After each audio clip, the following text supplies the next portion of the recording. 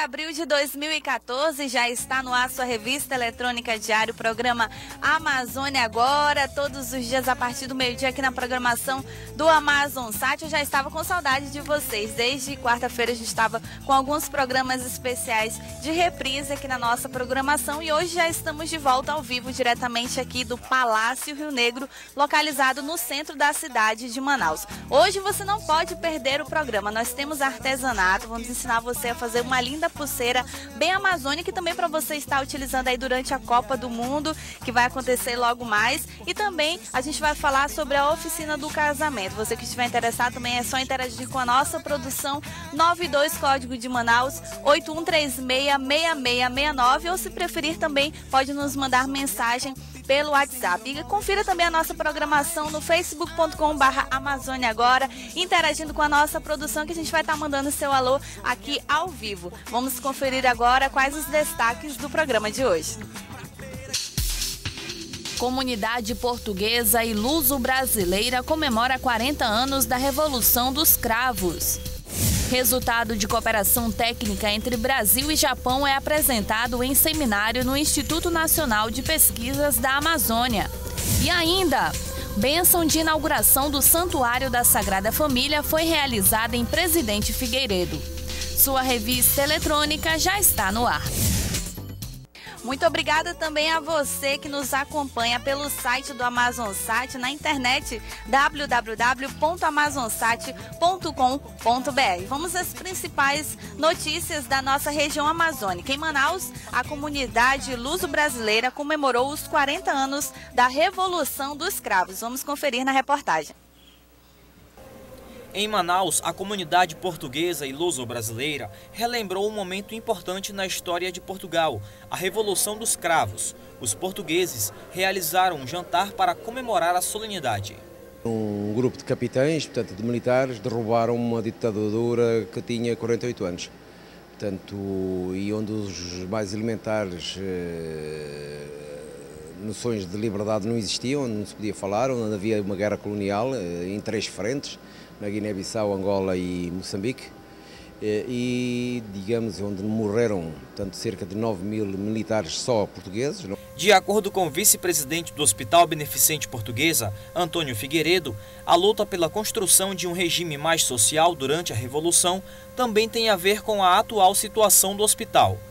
Aqui na Beneficente Portuguesa nós também temos a mesma situação. Eh, estamos a tentar modificar o hospital, modernizar o hospital, de, e tentar criar condições para que possamos trabalhar de maneira diferente, de maneira mais aberta, mais liberal e onde a parte social seja muito importante. A Copa do Mundo está cada vez mais próxima e, de acordo com o presidente do hospital, Jair Correa, a seleção de Portugal vai ser bem-vinda na capital amazonense. Olha, nós temos um carinho muito especial por Portugal. Sabemos que eles vêm com uma equipe forte, mas o Brasil tem a característica já e a tradição de um bom futebol. Esperamos que vença o melhor, porque o público que vai à Arena da Amazônia, por sinal, quer ver os grandes craques fazendo boas jogadas. Qual é o palpite do placar? Brasil e Portugal, segundo lugar. E com sucesso de público e de negócios, a Feira do Empreendedor 2014, promovida pelo Sebrae, encerrou neste domingo. O evento se tornou uma grande oportunidade para quem tem uma boa ideia e precisa apenas de uma chance para divulgá-la e, quem sabe, colocá-la em prática no mercado consumidor.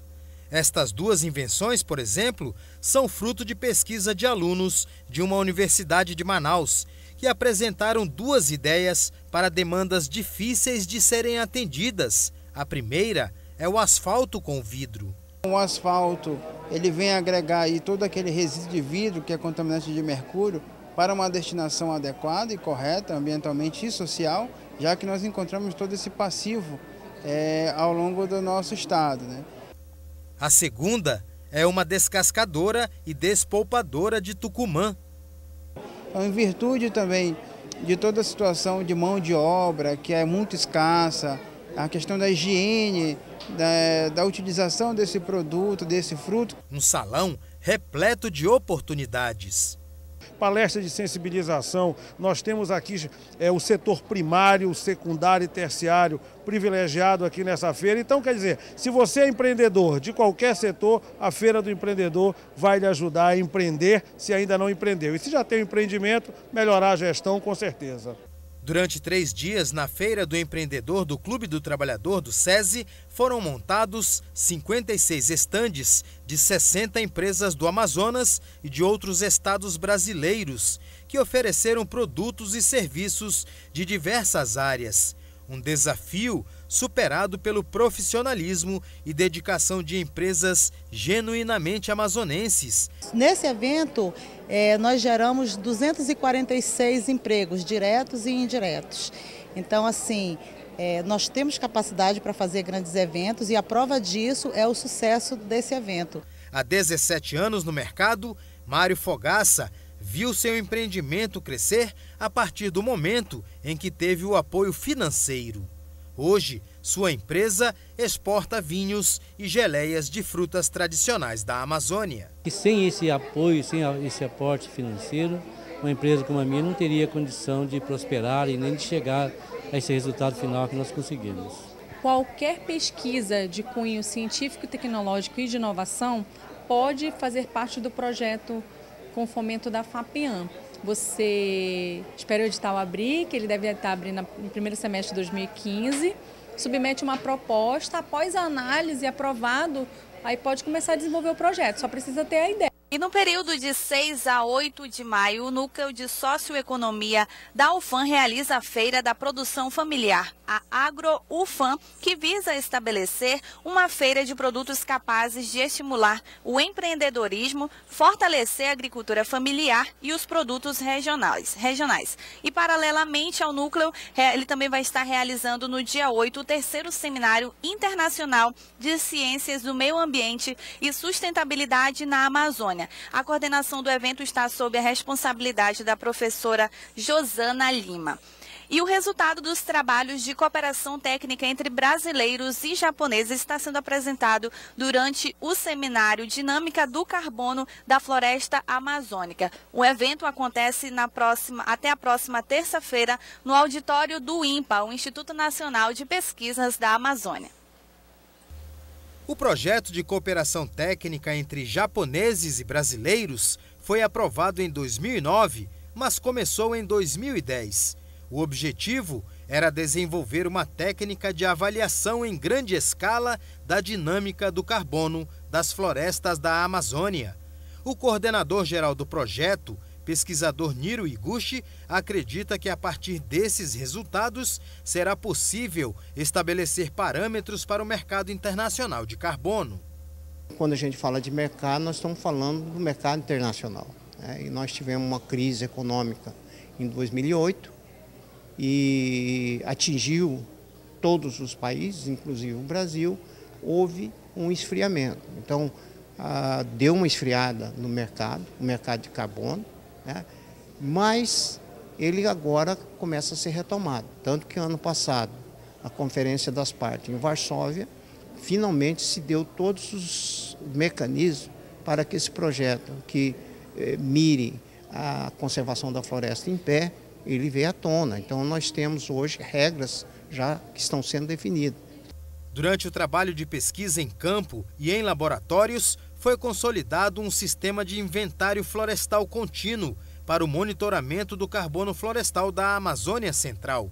O projeto Dinâmica do Carbono da Floresta Amazônica também desenvolveu novos mapas do inventário florestal contínuo, com informações de sensoriamento remoto. Nós iremos compartilhar essas experiências e na terça-feira nós teremos é, um painel focado justamente para a aplicação desses métodos, desses estudos em projetos de RED Plus, que, é, que trata de projetos de carbono, tratando do desmatamento evitado e da degradação florestal.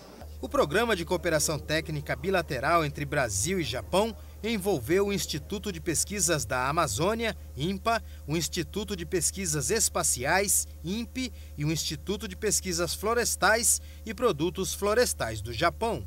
Produção de dados e de informações robustas requer a cooperação.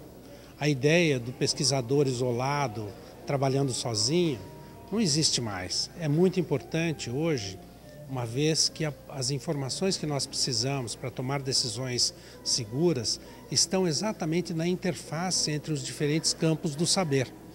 E essa interface precisa de profissionais de diferentes áreas. E quando estamos tratando com a Amazônia, a gente tem um ingrediente a mais, que é o desafio Amazônia. E um grupo de policiais militares bloqueou a Avenida Lores Cordovil na zona centro-sul de Manaus na manhã desta segunda-feira. Eles protestam desde a madrugada quando anunciaram a paralisação das atividades no Amazonas até que sejam negociadas melhorias trabalhísticas. Você confere essas e outras notícias logo mais aqui na nossa programação do Amazon Sat ou se preferir às 21 horas no Jornal da Amazônia. E no Acre News de hoje você vai conferir a seguinte notícia. O Ministério Público Público Federal no Acre enviou à Procuradoria-Geral da República uma representação pela inconstitucionalidade de uma lei estadual que privilegia indústrias acreanas em processos licitatórios.